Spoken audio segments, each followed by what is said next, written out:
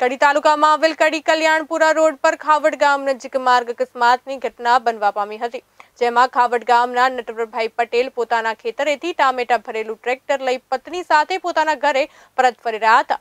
તે દરમિયાન કડીથી કલ્યાણપુર તરફ અતિ ઝડપે જતી એક કાર અને ટ્રેક્ટર વચ્ચે અકસ્માત સર્જાયો હતો. ત્યારે ધડાકાભેર અથડાયેલ બંને વાહનો નજીકમાં આવેલ ગરનાળામાં જ ખાબક્યા હતા. ત્યારે અકસ્માતને પગલે સ્થાનિકો સહિત રસ્તા પર જતા વાહન ચાલકોએ બંને વાહનમાં સવાર લોકોને બહાર કાઢ્યા હતા. તો વાહનો વચ્ચેના અકસ્માતમાં સત્તાવન વર્ષીય ટ્રેક્ટર ચાલક નટવરભાઈનું મોત નીપજ્યું હતું. જ્યારે ટ્રેક્ટરમાં તેમની સાથે સવાર તેમના પત્ની મીમડાબેન અને સામે કારમાં સવાર ચાલક સહિતના ચાર પેસેન્જરોને ઈજા થતા કુલ પાંચ લોકોને કડીની ખાનગી હોસ્પિટલમાં સારવાર હેઠળ ખસેડવામાં આવ્યા હતા. ઘટનાની જાણ થતાં પોલીસ ઘટના સ્થળે દોડી આવી હતી અને કાર ચાલક વિરુદ્ધ ગુનો નોંધી વધુ તપાસ હાથ ધરી હતી.